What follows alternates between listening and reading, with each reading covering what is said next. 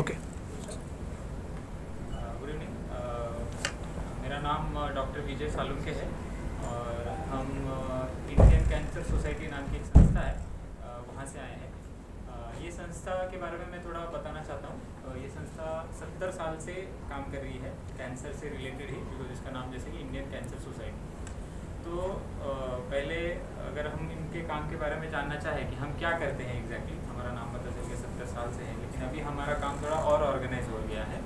तो हम अभी क्या करते हैं फ़िलहाल? तो हम पाँच एरियाज़ में काम करते हैं। uh, सबसे पहला है अवेयरनेस मतलब लोगों तक जाना में कैंसर एग्जैक्टली क्या है? क्योंकि लोगों को बहुत सारे लोगों को पता होता है सुना होता है लेकिन वो शायद गलत भी हो सकता है फिर कुछ डर के जैसा हो सकता है। तो वो एग्जैक्टली है क्या? कैंसर क्या है? ये पहले हम बताते हैं फिर उसके बाद में उसे डील कैसे किया जाए? हमारा अवेयरनेस का मेन पॉइंट ऑफ़ व्यू है कि उससे बचा कैसे भी जाए, ये भी हम थोड़ा सा बता देते हैं। दूसरा पार्ट आता है स्क्रीनिंग स्क्रीनिंग मतलब एक इनिशियल जाँच की जैसा है। मतलब हम उसे कहेंगे कभी कभी स्क्रीनिंग कैंसर होने से पहले के स्टेज पे भी हमें बता देती थी है कि कुछ संभावना है क्या। तो वो पार्ट आता है स्क्रीनिंग तो उसका भी हम सपोर्ट देते हैं कम्युनिटीज़ में जाके कभी हमारे संस्था में भी रखते हैं। तीसरा पार्ट है ट्रीटमेंट से रिलेटेड हमारी संस्था नॉन प्रॉफिट ऑर्गेनाइजेशन है, लेकिन उस खुद ट्रीटमेंट हम डॉक्टर्स के थ्रू नहीं देते हैं। हमने नेशनल लेवल पे कुछ हॉस्पिटल्स अपॉइंट किए हैं कि जहाँ पे जब पेशेंट जाता है और वो अगर इकोनॉमिकली सपोर्ट उनको चाहिए तो वो हॉस्पिटल हमें कांटेक्ट करता है। क्योंकि हमने हॉस्पिटल्स को बताया हुआ है कि आप हमारे पास आ सकते हैं उन हॉस्पिटल्स को। हम क्राइटेरिया देखते हैं हॉस्पिटल की ऑथेंटिसिटी देखते हैं। तो ये सब चीज़ें देख के हमने कुछ हॉस्पिटल्स को एम्पैनल किया है तो वहाँ पे अगर कोई कोई पेशेंट जाता है इकोनॉमिकल सपोर्ट चाहिए सोशल सपोर्ट चाहिए, बाकी का रिहाब का सपोर्ट चाहिए तो वो हॉस्पिटल हमें कांटेक्ट करता है। तो उस तरह का हम सपोर्ट देते हैं। मतलब मॉनिटरी सपोर्ट भी फुल ट्रीटमेंट कॉस्ट भी हम कवर करते हैं, लेकिन फिर हमारे यहाँ पे डॉक्टर्स का पैनल अलग है कि जो इवेल्यूट करता है इन पेशेंट्स को भी, कि हाउ मच दे रिक्वायर और सोशल इवेल्युएशन भी होता है। ये तीसरा पार्ट हो गया। चौथा पार्ट है रिहेबिलिटेशन एंड सर्वाइवलशिप ये पार्ट में कैंसर होने के बाद में जब पेशेंट वो ट्रीटमेंट से गुजरता है या फिर ट्रीटमेंट होने के बाद में भी, उस पेशेंट को बहुत सारी और सपोर्ट की भी रिक्वायरमेंट होती है। सिर्फ़ ट्रीटमेंट देख के कीमोथेरेपी रेडियोथेरेपी देख के नहीं होता है। बहुत बार सोशल सपोर्ट की ज़रूरत होती है या फिर ऑक्यूपेशनली अगर डिसेबल्ड हो जाता है तो उन्हें और कैसे मदद दी जा सकती है? तो ये पार्ट आता है रिहेबिलिटेशन और हम वो जो दौर होता है, वो उससे बाहर कैसे निकल जाए, इसके लिए भी हम एक्टिविटीज़ लेते हैं अलग अलग सर्वाइवल के साथ। पांचवा पार्ट है कैंसर की registry and the research Indian journal cancer का जर्नल जो हमारा बनता है इंडिया में हमारा ही इंस्टीट्यूट का ऑथेंटिकेटेड है कैंसर के रिलेटेड जो जर्नल बाहर निकलता है वो इंडिया में, क्योंकि इसकी जो रजिस्ट्री है मुंबई बेस्ड रजिस्ट्री वो सबसे पुरानी रजिस्ट्री है। मतलब मुंबई में कैंसर अगर किसी को होता है तो हम उनका रिकॉर्ड रखते हैं। पूरा जितना हो सके हम हॉस्पिटल्स में अलग अलग जाते हैं, वहाँ पे फिर उनका रिकॉर्ड रखते हैं और उससे कुछ इन्फॉर्मेशन पता चलती है। उसमें हम कुछ और बीच में मतलब जैसे कि यहाँ पे ज़्यादा कैंसर है तो हम कुछ और कर सकते हैं क्या? इस टाइप का रिसर्च हो, या फिर ट्रीटमेंट में नया कुछ आया है, उसका इम्पैक्ट कैसा हो? इस तरह का भी रिसर्च क्योंकि पेपर पब्लिश करने वाले बहुत सारे एक्सपर्ट्स होते हैं हमारे साथ। तो ये एक रजिस्ट्री बहुत मतलब लैंडमार्क है, क्योंकि ये भी रखना बहुत बड़ी बात है कि रिकॉर्ड ही ना हो, तुम्हें पता ही ना हो कि कितना है तो उसके बारे में तुम पता ही नहीं चलेगा। तो ये हमारी संस्था पाँचवा पार्ट है। ये ऐसे पाँच बड़े बड़े हम कह सकते हैं कि एरियाज़ में हमने डिवाइड किया हुआ तो अभी हम एक्चुअल चालू करते हैं कि कैंसर तो कैंसर एग्जैक्टली जान लेते हैं मतलब क्या? कि पहले हम वर्ड से देखते हैं कि कैंसर वर्ड आया कहाँ से। तो वहाँ पे एक पिक्चर है, एक केकड़े का पिक्चर है। तो ये वर्ड है, वो क्या, इस एनिमल को ज़्यादा रिप्रेजेंट करता है। क्यों? क्योंकि अगर केकड़े ने एक बार पकड़ लिया तो फिर वो जल्दी से छोड़ता नहीं है। तो वैसे ही कैंसर का भी है। अगर एक बार हो जाता है तो बहुत मुश्किल होता है उससे निकलना। इसलिए उस वर्ड से ये हमारा कैंसर वर्ड आया। है तो ये कैंसर वर्ड के बारे में समझ गए, लेकिन अभी कैंसर होता क्या है एग्जैक्टली कैंसर के बारे में बहुत लोगों को बहुत पता है, लेकिन हम पहले जानेंगे कि कैंसर एग्जैक्टली होता क्या है। इसमें हमें ये कहना है कि साइंटिफिकली हम क्या कहते हैं? साइंटिफिकली हम उसे कहते हैं कि अनकंट्रोल ग्रोथ ऑफ़ सेल्स मतलब सेल्स का, पेशियों का जो बढ़ाई, बढ़ती है संख्या, उसमें उसका नियंत्रण चला जाना। अभी हम विजुअलाइज करेंगे कि हमारा जो शरीर है, वो कुछ ईंटों के जैसा बना हुआ है, समझ तो अगर ईंटें जब सीधी लाइन में होती है, तब उसे अच्छी सी दीवार होती है। उस दीवार से लेके एक बिल्डिंग खड़ी हो जाती है। तो अपना शरीर भी कुछ ऐसा पेशियों से बना हुआ है। तो ये पेशियाँ जब तक सही मायने में रहती हैं, तब तक हमारा शरीर अच्छा दिखता है। एक बार उनका नियंत्रण चला गया कि कितना नंबर में बढ़ना है तो वो बेढंग हो जाता है। क्योंकि वहाँ का फ़ंक्शन में काम बिगड़, बिगाड़ आ जाता है। जैसे कि अगर ईटे कैसे भी यहाँ पर हो जाती तो मैं शायद यहाँ पे खड़ा होकर बात नहीं कर पाता। तो वैसे ही समझ लो किसी अवयव में वहाँ पे हो गया, वहाँ का नियंत्रण चला गया उनका बढ़ने का तो वो काम ठीक से नहीं करेगा, खुद या फिर बाजू वाले अवयव। तो इस तरह से कैंसर जो है वो that is uncontrol division of cell है कंट्रोल चला जाता है तो उसकी वजह से होता है वो कैंसर हम उसे साइंटिफिकली कहते हैं। तो अभी सवाल उठता है कि कैंसर के बारे में बात क्यों की जाए? मतलब इतना ज़रूरी है क्या कि भाई हम आके इतना लोगों तक जाए और बात करें? क्योंकि अवेयरनेस इतनी ज़रूरी है क्या? तो ये, वो क्यों ज़रूरी है? तो सबसे पहली बात कि कैंसर के यूजुअली हम स्टेजेस करते हैं, वो किसी बीमारी के stage one two three four ऐसे स्टेजेस करते हैं यूजुअली चार स्टेज करते हैं। इंडिया में क्या हो रहा है कि बहुत सारे केसेस हैं, वो आगे के स्टेज में। मतलब वो नंबर कितना है? तो सत्तर से अस्सी प्रतिशत केसेस जो है, वो आगे के स्टेज में आते हैं। मतलब इसके लिए कारण अलग अलग है। अवेयरनेस नहीं है, पता ही नहीं है कि कैंसर क्या है कैंसर में क्या होता है, क्या करना चाहिए उसके बारे में। तो इसलिए आगे के स्टेज में आते हैं, सत्तर से अस्सी प्रतिशत। ये एक कारण हो गया। और दूसरा हमें पता ही है कि कैंसर के बारे में अभी हर किसी ना किसी ने तो सुना हुआ है। मतलब वो अभी बहुत बढ़ रहा है, उतनी तेज़ी से। इसलिए कैंसर के बारे में जानना ज़रूरी है। दो चीज़ें हैं। और भी बहुत सारे हैं, लेकिन ये तो तो मतलब काफ़ी है कि भाई हमें कैंसर के बारे में बात करनी चाहिए ये सोचने के लिए। तो अभी हम कुछ उसके बारे में जानते हैं कि लोगों के बारे में कैंसर के बारे में क्या सोचते हैं। तो सबसे मेन है कि बहुत लोगों को लगता है कि कैंसर हो गया मतलब ख़त्म बात है। अभी हम कुछ नहीं कर पाएँगे। उसका इलाज नहीं होगा या फिर हमारा अभी तो समय समाप्ति के समय हो गया है, ऐसे लगता है। तो ऐसा नहीं है। समय के साथ में जैसे कैंसर बढ़ बढ़ रहा है, हम कह रहे हैं नंबर तो उसके इलाज भी अलग अलग तरीके से बढ़ रहे हैं। उनमें नए नए सुधार आ रहे हैं और टारगेटेड थेरेपीज आ रहे हैं, नई दवाइयाँ आ रही है। तो उससे क्या हो रहा है, दवाई बीमारी पूरी तरह ठीक होना ये भी चालू हुआ है और उसके साथ साथ में उसको रोकना भी संभव होने लगा है। और कुछ होता है कि कम्युनिकेबल है क्या? मतलब एक दूसरे मेरे बाजू वाले को हो गया तो मुझे हो सकता है। तो कैंसर ऐसी बीमारी है कि वो सिर्फ़ छूने से या फिर साथ रहने से नहीं फैलती। वो कम्युनिकेबल नहीं है। वो किसी भी तरह का कैंसर हो। मुँह का रह के ऐसा लग सकता है कि भाई खाना साथ में खाए कि नहीं, पता नहीं। तो या फिर स्किन का है तो छुए कि नहीं। तो ऐसा नहीं है। तो बहुत लोगों को लग सकता है कि ये कैंसर उसके वजह से है क्या? दूसरा है कि कैंसर अगर घर में किसी को होता है, हम सोचते हैं कि घर वालों को होना ही होना है। तो सब कैंसर हेरिडिटरी है क्या? तो वैसे नहीं है। कुछ कैंसर्स में कुछ जीन्स हमें पता चली है कि होता है, उसका संबंध होता है, लेकिन वो अगर प्रतिशत देखे जाए तो पाँच प्रतिशत के लगभग है, फ़िलहाल के आंकड़ों की वजह से कि रिस्क फैक्टर जो कहते हैं, अगर सौ रिस्क सौ रिस्क हैं, उसमें से पाँच प्रतिशत, पाँच ही ऐसे कि जेनेटिकली रिलेटेड है। मतलब बाकी कॉजेस अगर हम पिन पॉइंट अगर करें तो। तो उनमें से पूरा सब जेनेटिक है क्या? नहीं, लेकिन जेनेटिकली में हम ज़्यादा बात करते हैं ब्रेस्ट कैंसर के बारे में मतलब स्तन का कैंसर और ओवरी का कैंसर इनमें शायद संभावना होती है ज़्यादा कि हेरिडिटरी का रोल हो। तो उसके लिए भी अभी जेनेटिक काउंसलिंग अवेलेबल होता है कि आपके जीन्स में सच में वो जीन्स है क्या? उसके अकॉर्डिंगली आपको काउंसलिंग होती है और फिर हमें क्या करना चाहिए? मतलब ये भी नहीं कि आपको होगा ही होगा तो क्या करना चाहिए? ये भी उसके लिए भी अभी उपाय हैं। तो हेरिडिटरी मतलब ख़त्म हो गया, ये भी ज़रूरी नहीं है। और वो पाँच प्रतिशत है। तो अभी हम जानते हैं कि कैंसर, आज हम जो बात करेंगे, वो सब कैंसर के बारे में बात नहीं करेंगे। इंडिया में जो कॉमन कैंसर्स है मतलब 35 टू 40 परसेंट किस कैंसर के दिखते हैं, उन केसेस के बारे में आज हम ज़रा डिटेल में बात करेंगे। और वो, क्यों बात करना ज़रूरी है? क्योंकि अगर हम कंपेयर करें हमारा इंडिया के केसेस में कैंसर्स जो रिलेटेड है, और बाकी जहाँ पे ज़रा और डेवलप्ड पार्ट हो चुका है इनके बारे में। तो ये कैंसर वहाँ पे ज़्यादातर नहीं दिखते because there is awareness awareness दो तरीके का है कि उनका स्क्रीनिंग जो हम बताने वाले हैं, वो भी वहाँ पे होता है, इतना कॉमन है। तो हमारे यहाँ पे क्यों होना चाहिए? तो और कितना आसान है वो, ये हम बताएँगे। कुछ जो कॉन्सर कैंसर कॉमन है, उनके बारे में। तो 35 परसेंट क्या कहा मैंने ब्रेस्ट सर्वाइकल ओरल कैंसर ठीक है, ये कॉमन है, जो हम बात करें सबसे पहले हम बात करेंगे ओरल कैंसर के बारे में।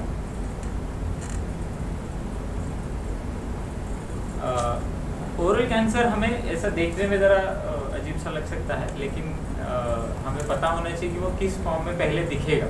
क्योंकि कैसे होता है कि लोग कहते हैं कि ठीक हो जाएगा थोड़ी सा हल्का सा रहेगा ये कुछ तो बीमारी।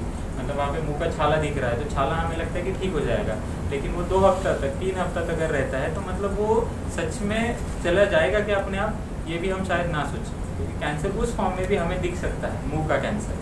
दूसरा फॉर्म क्या है? कुछ गार्ड के जैसा आ जाए थोड़ा सा कड़क हमें लगता है गार्ड के जैसा है, वो हम शुरुआत के दिनों में शायद ना देखें। चला जाएगा चला जाएगा, कुछ तो लगे लेकिन ये कैंसर का पहले का स्टेज हो सकता है। वो मास बड़ा बाद में होगा, तकलीफ़ होगी तब तो हम जाने ही वाले हैं डॉक्टर के पास। ठीक है? तो हमें अगर मुँह का कैंसर दिखता है तो किस फॉर्म में दिखेगा? छाले के रूप में दिखेगा, कुछ मांस के जैसा दिखेगा या फिर रंगों में बदलाव के जैसा दिखेगा। कि हमारा मुँह का जो रंग है, वो गुलाबी रंग का है तो उसमें कुछ रंग में बदलाव हो रहा है क्या? उससे हम अंदाज़ा लगा सकते हैं कि ये शुरुआत हुई है कि नहीं कैंसर के बारे में। तो भी कैसा दिख गया पता? लेकिन अभी किस वजह से होता है? मैंने थोड़ी देर पहले कहा था कि जो जेनेटिक है, जो अनुवांशिक है, वो पाँच प्रतिशत के आसपास है। भारत में कैंसर के जो हम रिस्क फैक्टर देखते हैं, उनमें चालीस प्रतिशत जो है वो टोबैको रिलेटेड मतलब वो मुँह के कैंसर के लिए तो ज़्यादा कारण हो सकते हैं। वो हमें पता ही चलता है कि भाई मुँह में तंबाकू रखते हैं लोग तो उससे होने वाला है। लेकिन बाकी कैंसर के रिस्क फैक्टर्स में भी इनका इन्वॉल्वमेंट है। तो 40 परसेंट अगर हम ये कंट्रोल भी कर ले तो 40 परसेंट रिस्क कम हो जाएगा। है ना? मतलब इतनी सीधी सी बात है। वो रिस्क फैक्टर्स क्यों देखते हैं हम? इस वजह से देखते हैं कि जेनेटिक से शायद हम ज़्यादा डरते हैं कि भाई घर पे हो गया तो हो गया। लेकिन ये 40 प्रतिशत अगर सिगरेट स्मोक कर रहा है, उससे हमारा रिस्क बढ़ रहा है, ये हम नहीं सोचते हैं ज़्यादा। तो हमारे आंकड़े रिसर्च वाले क्या कहते हैं? चालीस प्रतिशत केसेस इससे बचा जा सकता है। तो अभी जो हम कैंसर के बारे में बात अभी रिस्क फैक्टर्स में हम जो सिगरेट तंबाकू, गुटखा, खैनी, ये तो जानते हैं। लेकिन ये पान मसाला से भी होने के ज़्यादा चांसेस रहते हैं। अभी किसी किसी में ये आदतें नहीं होती, लेकिन कैंसर हो जाता है। तो बहुत सारे लोग फिर उससे बचने के लिए क्या कहते हैं, अरे, उनको तो कुछ आदतें नहीं थी पूरी, फिर भी कैंसर हो गया। तो मतलब मेरी आदत अगर कंटिन्यू रखूँगा तो उसमें और उनमें मुझे कुछ फ़र्क नहीं है तो मैं क्यों छोड़ूँ? है ना? तो ऐसा है कि 20 से 25 प्रतिशत हमें अभी तक पता नहीं है कि कैंसर किस वजह से हो रहा है। उसके बारे में अभी भी रिसर्च चालू है। तो वो जब पता चलेगा तो शायद और कारण हमें पता चल जाएगा लेकिन ये आदतों का कारण हमें पता है कि 40 प्रतिशत केस इससे है। तो ये आर्ग्यूमेंट है कि भाई उनमें नहीं हुआ तो मुझे भी आ, नहीं होगा तो मैं कंटिन्यू रखूँगा ये आदतों तो ऐसा है। अभी ये यहाँ पे दो नीचे फ़ोटोज़ है। इन आदतों के बारे में भी हमें बताना ज़रूरी है। जो ब्रश हमें दिख रहा है कभी कभी क्या होता है कि हम बाद में बदलिंग करेंगे। बाद में वो तकलीफ़ देते रहता है फिर भी हम कहते हैं कि थोड़े दिनों बाद थोड़े दिनों बाद। तो वो तकलीफ़ जो देनी होती है वो ब्रश से हो या फिर ख़राब दांत की वजह से हो वो भी शायद आगे बढ़ के इनमें वो एक रिस्क फैक्टर्स है कैंसर के भी उससे भी शायद चांसेस हो सकते हैं कि आपको कैंसर की संभावना के कारण ये हो सकता है कि जो नॉर्मली आदमी करता है कि भाई होगा, सब ठीक होगा, बिंदास हो जाता है तो वैसे नहीं है। हर एक कैंसर में अभी जो मैंने बार बार कहना होगी कुछ ऐसा है कि जिससे हम, उससे बचना बहुत पॉसिबल है और बाकी के देशों में ये नहीं दिख रहा है। तो इस कैंसर के, जो ओरल कैंसर है उसके बारे में जो स्क्रीनिंग है, वो बहुत आसान है। उसमें हमें सिर्फ़ क्या करना है कि हमारा मुँह में कुछ बदलाव तो नहीं है, वो देखना है। उनमें प्री कैंसरस लीजन्स रहते हैं। मतलब कैंसर होने से पहले भी हमें कुछ लीजन दिखते हैं कि जिससे हमें पता चल सकता है कि कैंसर होने की संभावना है। मतलब ये तो बहुत बढ़िया है कि कैंसर अभी तो हुआ नहीं, लेकिन उसके पहले हमें अंदाज़ा आ गया कि कैंसर हो सकता है कि तो भी वो क्या रहता है? प्री कैंसरस लीजन क्या रहते हैं? तो सफ़ेद जो दाग के जैसा रहता है, उन्हें ल्यूकोप्लेकिया नाम देते हैं हम। मतलब गुलाबी रंग है मैंने कहा तो उसमें सफ़ेद धब्बे बहुत पहले के स्टेज में भी दिखना चालू हो जाते हैं। या फिर फाइब्रोसिस के जैसा कुछ तो होता है मतलब मुँह खोलने में दिक्कत आ जाती है, ये अगर सीधे साधे शब्दों में बता दें। तो ये दो चीज़ें हैं, और भी बहुत सारी चीज़ें होती है। लेकिन सबसे मेन बात क्या है? ये स्क्रीनिंग बहुत आसान है। डॉक्टर के पास जाओ और सिर्फ़ उन्हें बताना है कि मेरे मुँह में वो देख के आपको लग रहा है क्या? कि प्री कैंसरस कुछ स्टेज में है क्या? इतना ही पूछना है डॉक्टर को। है ना? तो मतलब ये इतनी आसान सी चीज़ है, लेकिन हमें पता नहीं होता, इसलिए हम बात नहीं करते उसके बारे में। तो ये स्क्रीनिंग ओरल कैंसर की कैसे होगी सिर्फ़ मुँह खुलना है और फिर पूछना है डॉक्टर को कि कैसा है। खुद से भी अगर अंदाज़ा कुछ आने लगे तो बढ़िया है स्क्रीनिंग में। बताया ही है कि भाई सफ़ेद तक पे दिख गए मुँह खुलने को नहीं हो रहा है, छाला आ रहा है, छोटी सी गांठ। ठीक है? तो ये ओरल कैंसर के बारे में। अगला है प्रोस्टेट कैंसर जो मर्दों में पाया जाता है बिकॉज़ एक प्रोस्टेट नाम की ग्रंथि होती है, पौरुष ग्रंथि, वो सिर्फ़ मर्दों में पाई जाती है। मर्दों में पाए जाने वाले कैंसर में ये भी पहले टॉप थ्री में आता है oral lung and prostate cancer तो ये प्रोस्टेट कैंसर की तकलीफें तो जब होती है 40-45 के बाद में ये बहुत कॉमन होता है तो तकलीफें होने के बाद तो डॉक्टर के पास जाने वाले ही, लेकिन उसमें भी डीले करते हैं लोग। अभी तकलीफें क्या होती है कि पेशा रुक रुक के होना थोड़ा सा बूंदे बूंदे होना, एक साथ ज़ोर लगाते तभी नहीं होता है, या फिर बहुत बार जलन होते रहना। अगर कुछ दिन की दवाई लेके ठीक हो गए तो ठीक है, क्योंकि ये सब लक्षण है, सिर्फ़ कैंसर में ही हो, ऐसा ज़रूरी नहीं है। और भी बहुत सारी बीमारी है तो उसमें होता है, जैसे कि छाले आना। वो बहुत सारे मुँह में, मुँह का अगर कैंसर की बात करें तो वो अलग बीमारी की वजह से भी हो सकता है। लेकिन दिक्कत ये है कि हम छोड़ देते बाद में जाएँगे, बाद में जाएँगे, बच्चे का एग्ज़ाम है हमें प्रेजेंटेशन देना है। घर में का काम ही इतना ज़्यादा होता है कि हम घर का काम करें फिर बाहर डॉक्टर के पास जाए। मतलब खुद के लिए समय नहीं निकालते हैं। बोलते कि बाद में हो जाएगा, ठीक हो जाएगा अपने आप। तो ये सिर्फ़, अगर ये सिम्टम दिख रहे हैं तो सलाह लेनी ज़रूरी है। अभी इस कैंसर के बारे में भी जो स्क्रीनिंग वाली टेस्ट है या फिर जो हमें कैंसर तुरंत बता देगी कि वो हुआ है कि नहीं तो उसके लिए एक पी से टेस्ट करके तो ये सिर्फ़ एक ब्लड टेस्ट है। मतलब हमें मुश्किल है क्या कुछ उसके बारे में जानना? तो नहीं। सिर्फ़ एक छोटा सा ब्लड ले लिया और उससे पता चल गया। लेकिन फिर भी वो कॉमन है इंडिया में, क्योंकि जाते नहीं है जल्दी तो वो सब जानने के लिए, या फिर वो टेस्ट रेगुलरली करते नहीं है। तीसरा कैंसर के बारे में जो बात करेंगे, वो है ब्रेस्ट कैंसर ब्रेस्ट कैंसर में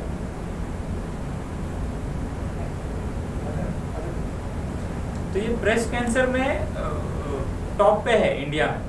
सबसे ज़्यादा केसेस जो कैंसर के दिखते हैं, वो ब्रेस्ट कैंसर के दिखते हैं। अभी इनमें जो लक्षण हमें दिख सकते हैं, वो क्या है? वो किस फॉर्म में हमें दिखता है? तो एक है गाठ का आना कहीं से किस तरह का स्त्राव होना मतलब कोई भी डिस्चार्ज ब्लड का हो सीरम का हो, ऐसे डिस्चार्जेस होना, ये एक बात है। या फिर स्किन में कुछ चेंजेस हो, कि भाई संतरे के जैसा जो स्किन रहती है, उसके जैसा स्किन हो, होना। तो ऐसे कुछ लक्षण हैं कि जब हमें पता चल सकता है कि भाई ये शुरुआत की स्टेज है या फिर होने की संभावना है तो हमें जाना है। तो इस फॉर्म में हमें ये कैंसर दिखता है। अभी यहाँ ये दिखता है तो शायद देर भी हो गई होगी कि आगे के स्टेज में गया भी होगा, पता नहीं। तो पहले ही कैसे जान ले? एक तो तो उसकी स्क्रीनिंग में क्या आता है? सेल्फ ब्रेस्ट एग्जामिनेशन मतलब खुद के स्तन का खुद ही जाँच कर सकते हैं। अगर खुद में दिक्कत है तो वो आसान तरीके से कोई तो डॉक्टर के पास भी जाके कर सकते हैं। वो आसान इसलिए है क्योंकि वो घर पे कोई भी कर सकता है। अभी कैसे कर सकते हैं? तो यूजुअली जब मेंस्ट्रुअल साइकिल चालू हो जाती है जो उसका हम पहला दिन पकड़ेंगे। उस एक दिन से काउंट करके सातवें दिन तक। तो सात दिन के बाद में दो, दूसरा, तीसरे दिन में उस दिन से लेके आपको एग्जामिनेशन करना है। अब ये दिन क्यों इम्पोर्टेंट है? बिकॉज़ हार्मोनल चेंजेस फीमेल्स में मेंस्ट्रुअल साइकिल के हिसाब से होती है। तो उस टाइम पे अगर लक्षण कुछ है तो वो ज़्यादा नज़र आते हैं। कंपेयर टू बाकी के दिनों। इसलिए वो दिन महत्वपूर्ण है। तो अभी एग्जामिनेशन एक्चुअली कैसा करें? सबसे पहले तो नॉर्मल क्या है? मेरा शरीर नॉर्मल क्या है? ये पहले आप जान। लीजिए तभी आपको पता चलेगा कि अलग कुछ हो रहा है कि नहीं। उसके लिए पहले आपको खुद को आईने में देखना पड़ेगा कि नॉर्मल क्या है। उसके बाद में अभी एक्चुअल एग्जामिनेशन के पास आते हैं। अगर कुछ उसमें नज़र आ रहा है तो हम कुछ कर सकते हैं उसके लिए। अभी एक्चुअल एग्जामिनेशन कैसा करेंगे? तो समझ लीजिए आपको लेटना है और समझ लीजिए आप लेफ़्ट साइड का चेस्ट देख रहे हैं एग्जामिन कर रहे हैं तो आपको ये लेफ़्ट हैंड ऐसे सर के पीछे रखना है। मैं लेटा हूँ ऐसे सोचिए और उसके बाद में राइट हैंड के थ्री फिंगर्स ऐसे लेने हैं फ्लैट और उसको फिर ऐसे घुमाना। मतलब सपोज़ दिस इज़ ब्रेस्ट ये स्तन है तो उसके ऊपर हम ऐसे ऐसे, धीरे धीरे घुमा बाहर की तरफ़ से जाके सेंटर की तरफ़ जाएँगे। ठीक है? ऐसा चारों तरफ़ से करते जाएँगे। मतलब एक यहाँ, दूसरा, तीसरा और चौथा। और पांचवी जगह है अपनी बगल में तो ये भूलना नहीं है, क्योंकि लिम्फ नोड नाम का रहता है कि जो स्त्राव लेके जाते हैं, वो भी शायद पहले बढ़ जाए, आपके स्तन में एक्चुअली काट ना रहे, लेकिन वहाँ पे आ जाए पहले। तो ये पाँच जगह पे हमें देखना है, और वैसे ही दूसरी साइड ऐसे हाथ लेके करना है, ठीक है? तो ये हो गया, अभी एग्ज़ाम ये शायद आपको पहली बार में ना समझे कि कभी कैसे करना है। उसके लिए बहुत सारी वीडियोस है। अगर उससे भी नहीं पता चल रहा है तो you can go to the doctor पहले उनसे करवा के देखिए। गायनिकोलॉजिस्ट होते हैं तो आप उनसे बेहतर तरीके से खुल के ज़रा देख सकते हैं। दूसरी स्क्रीनिंग है मैमोग्राफी क्योंकि जो पहली जो है, खुद का एग्जामिनेशन खुद करेंगे तो शायद ऐसा हो सकता है कि वो गांठ के जैसा कुछ है, वो बड़ा ही आपको तब पता चले। लेकिन वो गांठ जब छोटी होती है मैमोग्राफी एक ऐसी टेस्ट है, बहुत छोटी गांठ को भी डिटेक्ट कर लेती है। तो जितना हम जल्दी उसको डिटेक्ट कर लेंगे तो उसे हमें जल्दी इलाज चालू कर सके और बाकी के कॉम्प्लिकेशन कम हो जाएँगे तो ये मैमोग्राफी जो है, वो भी एक एक्सरे की तरह ही है। मतलब जितना आपको लग सकता है कि, ये मैं क्यों बता रहा हूँ कि भाई तकलीफ़ होती है? ये बहुत लोगों का कंसर्न हो सकता है कि अगर तकलीफ़ लेना है तो बार बार क्यों तकलीफ़ लेना है? तो इससे तकलीफ़ नहीं होती है एक्सरे के जैसा है। तो आप सिर्फ़ डॉक्टर के पास जाएँगे, वो करवा लेंगे तो आसान है मतलब ये भी स्क्रीनिंग टेस्ट और बहुत जल्दी पता चल जाएगा उससे। अगला ब्रेस्ट कैंसर में अगले हम बात जानेंगे वो है कि कारण क्या हो सकते हैं। क्योंकि ये टॉप नंबर पे तो और थोड़ा कारण के बारे में और डिटेल में जान लेते हैं। पहले बात हो चुकी है जेनेटिकली थोड़ा सा रिलेशन हो सकता है तो आपको वो चेकअप करवा के लेना है जेनेटिक काउंसलिंग वगैरह करवा लेनी है। लेकिन और क्या कारण हो सकता है जिससे बचना चाहिए? एक है दवाइयाँ मतलब जो ओरल कॉन्ट्रासेप्शन कहते हैं। मतलब जो खा के हम गर्भ के कंट्रोल के लिए जो गोलियाँ लेती हैं। अभी इंडिया में दिक्कत क्या है कि मेडिकल में जाओ, कोई भी दवाई ले लो। जहर से तो जहर ले लो, पूछेगा नहीं कब ले रहे हो, कितना है, किसके लिए ले रहे हो, कुछ नहीं कुछ नहीं। वैसे ही दवाई का है, लोग जाते हैं, दवाई मंगा लेते हैं और खाते हैं। तो ये बहुत गलत बात है, क्योंकि ये हॉर्मोन्स है। मतलब जो इन दवाइयों में होता है, वो हार्मोन होता है, आपको शरीर को फ़र्क पड़ने वाला है उससे। तो इससे अगर उसका सेवन बहुत ज़्यादा बढ़ गया या फिर गलत तरीके से हम लेते हैं वो भी एक रिस्क फैक्टर है ब्रेस्ट कैंसर होने दूसरा है मोटापा कि भाई ओबेसिटी अगर रहता है तो रिस्क बढ़ता है। मतलब वो प्रोपोर्शन उतना अगर हम पतले औरत में देखें और आ, कोई ओबीज औरत में देखें तो रिस्क ओबीज औरत में ज़्यादा होता है। तीसरा है कि माँ को खुद का दूध देने की आदत जनरली हमको पता होता है कि छः महीने तक सिर्फ़ जो बच्चे को है माँ का दूध देना है उसके बाद में कम से कम दो साल तक बच्चे को माँ का ही दूध देना है। लेकिन अभी रीज़न बहुत हो गए कि वो दूध देना कम हो गया है। उसके रीज़न बहुत हो जाएगा उसमें हम नहीं जाएँगे कि भाई किसी किसी को आ, काम ऑफ़िस में जाना रहता है किसी को खुद से नहीं लेना होता है। लेकिन पते की बात यह है कि नेचुरल प्रोटेक्शन देता है अगर हम ब्रेस्ट फीडिंग करें तो। अगर वो नहीं देते हैं तो रिस्क बढ़ता है ब्रेस्ट कैंसर तो ये कुछ ऐसे रिस्क फैक्टर्स हैं। बाकी भी बहुत सारे हैं मतलब जैसे कि उम्र के साथ बढ़ेगा अगर में किसी को होगा तो और ज़्यादा चांसेस है। तो ये सब चीज़ें हैं, लेकिन इन चीज़ों के बारे में शायद हम कुछ कर सकते हैं। बराबर है ना? कि करने के लिए पॉसिबल है, ये रिस्क फैक्टर को हम बच सकते हैं। अभी अगला है सर्वाइकल कैंसर सर्वाइकल मतलब ग्रीवा का, यानी कि गर्भाशय जो है, उसके मुख का जो भाग रहता है, ये पूरा गर्भाशय है और ये इसका मुख का पार्ट है। तो उस एरिया का होने वाला कैंसर इंडिया में ये दो नंबर पे है कैंसर जो फीमेल्स में होता है। तो इसके बारे में जानना क्यों ज़रूरी है? क्योंकि ये दो नंबर पे ये तो कारण है। लेकिन इससे बहुत ज़रूरी बात यह है कि इससे बचा जाना और इसके बारे में बहुत आसान हो गया है। कैसे बच सकते हैं? तो एक वैक्सीन रहता है। ये कारण क्या है सर्वाइकल कैंसर होने का? तो ह्यूमन पैपिलोमा वायरस एचपीवी नाम का एक वायरस है। उसकी वजह से होने की ज़्यादा संभावना होती है ये सर्वाइकल कैंसर तो ये होता कब है? ये वायरस कब जाएगा? और जब से वो संबंध रखने चालू हो जाते हैं उसके बाद में वो वायरस का कांटेक्ट बढ़ सकता है। तो ये अभी ये किस लिए बता रहे हैं? क्योंकि इस वायरस के ऊपर अभी वैक्सीन भी अवेलेबल है। जो यूजुअली नौ साल की उम्र के बाद पंद्रह साल की उम्र तक रिकमेंडेशन है लेकिन वो जब तक संबंध रखना का उम्र चालू होता है उसके बीच में भी दे सकते हैं। छः महीने के गैप से दो इंजेक्शन ऐसे यूजुअली रहता है। ठीक है तो आप अपने गायनिकोलॉजिस्ट के पास जाके पूछ सकते हो उस वैक्सीन के बारे में और उससे प्रोटेक्शन ज़्यादा बढ़ता है। दूसरी, लेकिन ये वैक्सीनेशन का तो पार्ट अलग हो गया, लेकिन सबसे ज़रूरी बात ये है कि इसकी जो स्क्रीनिंग टेस्ट है, वो बहुत पहले ही प्रोटेक्शन दे देती है। बाकी के कैंसर के बारे में हम वो टेस्ट करें और पता चले कि भाई आपको कैंसर है कि नहीं। उसकी संभावना और सर्वाइकल कैंसर की संभावना में फ़र्क है, क्योंकि पैप टेस्ट करके ही हमें बहुत जल्दी पता चल जाता है और दवाई अगर बराबर से लेंगे तो कैंसर होता ही नहीं इसलिए प्रोटेक्शन बहुत ज़्यादा लेवल पर अरे पैप टेस्ट करना भी बहुत आसान है। क्या करते हैं कि भाई, सिर्फ़ एक ब्रश से लेके ब्रश लगाना रहता है, उस ब्रश पे सेल्स आ जाते हैं अपने आप, अपने सर्विक्स के, और उसकी जाँच होती है। मतलब ये, इसका मतलब क्या हो गया कि कुछ दर्द होने वाला नहीं, बहुत आसानी से है, ना कुछ काटना है, ना कुछ है। सिर्फ़ वो छू के ब्रश निकल जाएगा और जाँच हो जाएगी उसकी। और उससे और फ़ायदा क्या होगा? ये यूजुअली हम रिकमेंड करते हैं कि तीन साल में एक बार करना है। मतलब जब से संबंध रखने की उम्र चालू हो जाती है, उसके बाद में हर तीन साल में सिर्फ़ एक बार पैंसठ साल की उम्र इससे क्या होगा कि कैंसर होने की बहुत जल्दी से डिटेक्शन हो जाता है और वो होगा ही नहीं कैंसर बाकी के कैंसर में शायद लेट हो जाएगी प्री कैंसर लीजन पता चल जाए और कुछ टाइम में आपको कैंसर चालू हो जाए, ये आप शायद बचना मुश्किल है। सर्वाइकल कैंसर का में आपको टेस्ट करके बहुत जल्दी पता चल जाता है। एक या दो साल पहले भी अगर ये पता चल गया, दवाई लेके कि, वो कैंसर होने का चांस ही नहीं है।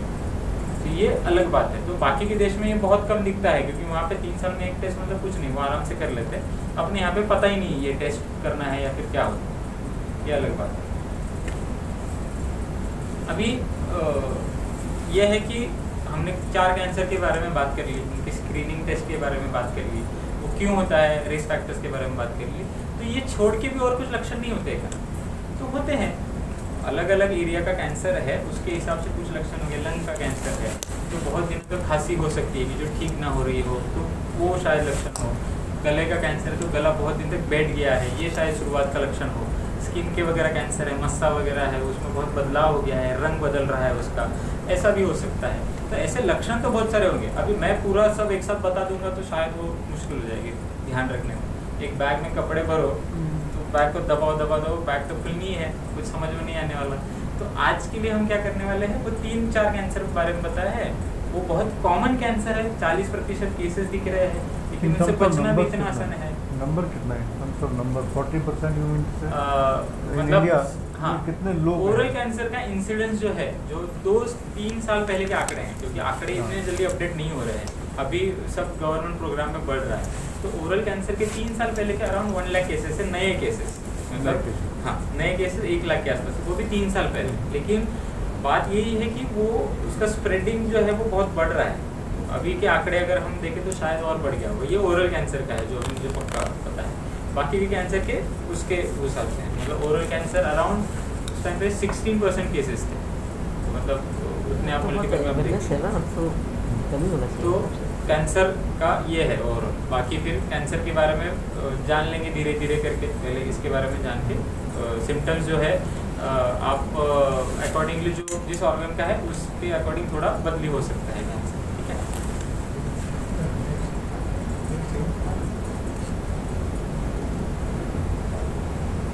अभी हम कुछ तस्वीरें देख रहे हैं। ये बहुत जानी मानी तस्वीरें हैं। हम्म, सही बात। इनमें कॉमन बात क्या है? कैंसर सब कैंसर के सर्वाइवर से तो मतलब इनको कैंसर हुआ था इनका ठीक हुआ कैंसर अभी वो नॉर्मल लाइफ जी रहे ये भी इम्पोर्टेंट है। तो मतलब क्या है कि कैंसर के बारे में सिर्फ़ डर बैठ के मतलब नहीं है। उसे जानना है उसे क्या करना है वो देखना है। इसलिए हम कहते हैं कि रहो कैंसर से दो कदम तो अभी एक कदम तो हमने जान लिया कि भाई स्क्रीनिंग टेस्ट नाम का कुछ तो टेस्ट होता है कि उससे हम जल्दी पता लगा सकते हैं और शायद फिर आगे रहेंगे उसमें और दूसरा कदम क्या है कि रिस्क फैक्टर से बचना है। ये रिस्क फैक्टर्स में और थोड़ा डिटेल में करेंगे। ये कुछ है तस्वीरें कि भाई जिनमें कैंसर है तंबाकू है, गुटखा है अभी खान पान के मामले में अगर बात करें तो हम इनको एसोसिएट नहीं करते हैं शायद बहुत बार कि शराब थोड़ी सी ले लेंगे तो कुछ फ़र्क नहीं पड़ता, अच्छी रहती है शायद शराब। लेकिन वो थोड़ी सी ले लेने में वही दिक्कत होता है कि वो थोड़ी सी पे रहे तो अलग बात। तो और अगर वो सिगरेट वगैरह के साथ है तो उसका इम्पैक्ट और बढ़ जाता है। मतलब एक्स प्लस वाई नहीं होता है, वो एक्स इंटू वाई हो जाता है, अगर सिगरेट और शराब साथ में आ जाती है। तो इतना उसका इम्पैक्ट है। बाकी खाने के मामले में भी कि हम फास्ट फूड्स है कोई टाइम टू टाइम खाना नहीं है इन चीज़ों का भी फ़र्क पड़ता है। शायद हमने बताए हुए कैंसर के बारे में ना हो, लेकिन और कैंसर के बारे में उसका फ़र्क पड़ सकता है। तो अभी करें क्या? सबसे पहला है हेल्दी फ़ूड कि हमें जो खा रहे हैं, ठीक से खा रहे कि नहीं देखना है। और कुछ ऐसे हैं, जैसे कि टमाटर हो गया कैबेज हो गया तो इनमें थोड़ा सा प्रोटेक्टिव वैल्यू भी है कैंसर से बचने की तो इनका अगर हम सेवन बढ़ाए तो उससे बचा जा सकता है, फिर कम मदद हो सकती है। दूसरा है एक्सरसाइज अभी एक्सरसाइज के मामले में ऐसा ज़रूरी नहीं कि जिम में जाके एक्सरसाइज करें या फिर बहुत दूरी करें। तब एक्सरसाइज उसी को एक्सरसाइज कहें, ऐसा ज़रूरी नहीं है। एक्सरसाइज बेसिकली ये है कि हमारा शरीर का हर एक अंग थोड़ा तो हिले इससे शुरुआत करते हैं। फिर बाद में देखते हैं, वो पंद्रह मिनट में हो जाएगा। मुश्किल नहीं है ना कि हर एक जॉइंट को हिलाना एक तो कुछ समय में। तो उससे शुरुआत करते हैं। हफ़्ते में दो तीन दिन करेंगे और उसके बाद में देखेंगे, बढ़ेगा। वो घर के घर में ही करना है। सिर्फ़ क्या हो जाता है कि वही आइडियलाइज करते हैं कि वही एक्सरसाइज है तो वही होगा तो एक्सरसाइज वरना कुछ नहीं है। पसीना आना चाहिए, पंद्रह मिनट भागना चाहिए, ऐसा ज़रूरी नहीं कुछ ना कुछ हमें शुरुआत करनी है, उसके बाद में देखेंगे। सो हफ़्ते में तीन दिन पंद्रह मिनट के लिए घर पे बैठ के बच्चों से पीटी करवा दो। कि भाई पीटी कैसे सिखाते तुमको बताओ।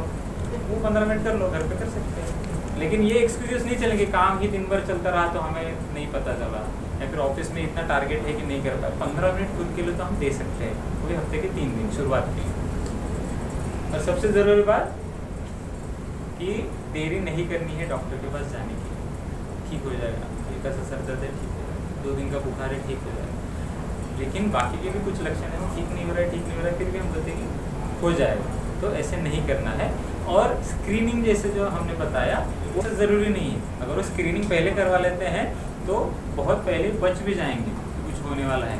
तो स्क्रीनिंग का भी आप ध्यान रखिए। हमने बोला है कि भाई, साल में एक बार, दो साल में एक बार तो डॉक्टर के पास जाके ज़रूर इनके बारे में पूछना है कि उस एंगल से भी आपको कुछ लग रहा है तो हमें ज़रूर बताइए। ठीक है? तो आज के लिए मुझे लगता है कि बहुत ज़्यादा हम अगर वो ब्रेन की कैपेसिटी रहती है तीस चालीस मिनट के ऊपर अगर कुछ बोल दे तो पता नहीं क्या जेंट्स लोग भी आ सकते हैं ना? हाँ।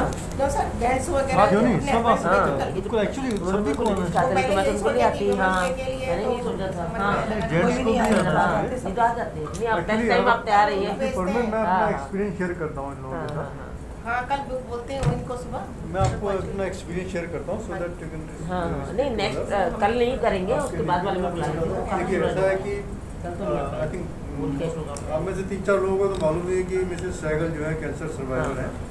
है and she is a twice cancer survivor जो पहली बार जब उनको डायग्नोज हुआ था एंड मैं मेडिकल लाइन से हूँ तो उनको थोड़ी बहुत वैसे ही कैंसर वर्ड सुना हुआ था और मैं जब जब उनको पहली बार हुआ था 2005 में उस समय मैं एक वाइस प्रेसिडेंट था एक ऐसी कंपनी का जो कैंसर मेडिसिन बेचते थे। सब कैंसर स्पेशलिस्ट मेरे जानते थे टाटा मेमोरियल तो जब पहली बार उनको हुआ तो वो रिलायंस में जॉब कर रही थी और सुबह ट्रेडमिल के ऊपर, रोज घर पर ही ट्रेडमिल थी और एक्सरसाइज करती थी।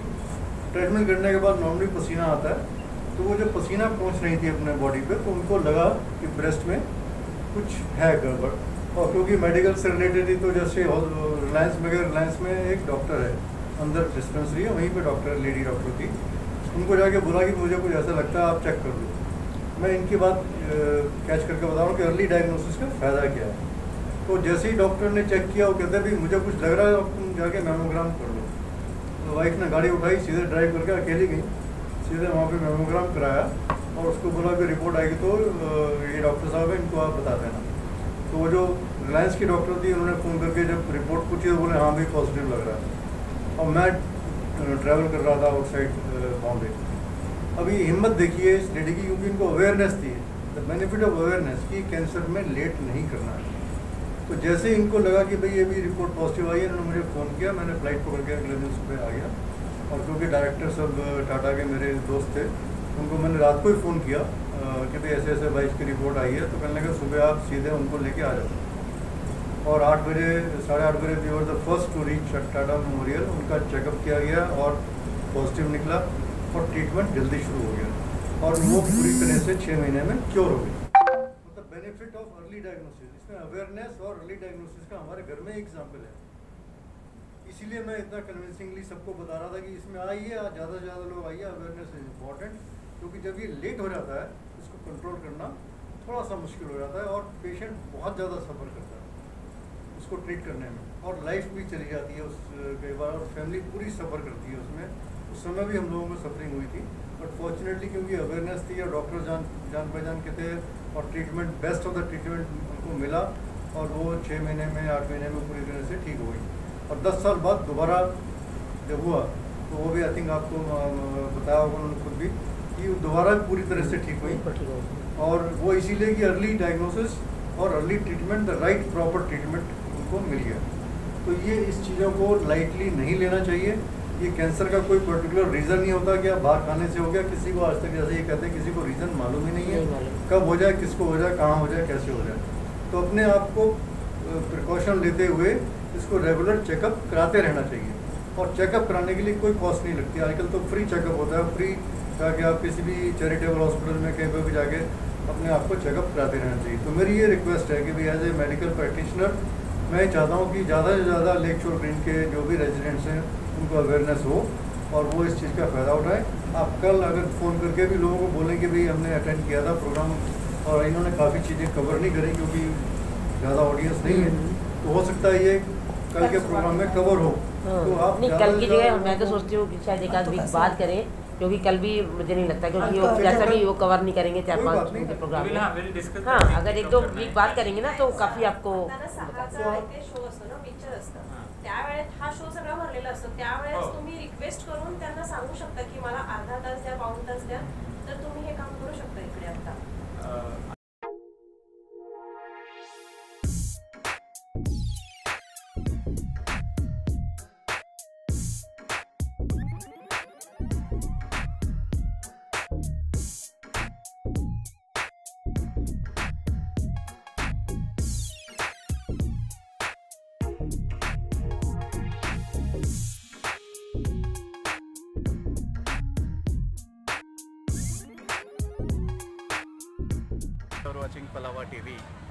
Palava TV. and you are watching Palava TV. Please like, share and subscribe.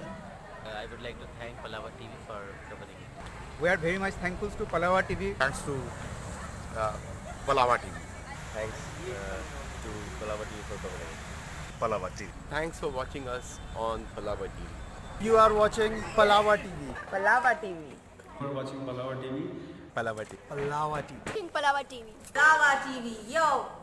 Palava TV Palava TV Palava TV आप देख रहे हैं Palava TV right Palava TV Palava TV Palava TV Palava TV Palava TV yo Palava TV We love to see the Palava TV. I request everybody to share, see, watch and enjoy the Palava TV.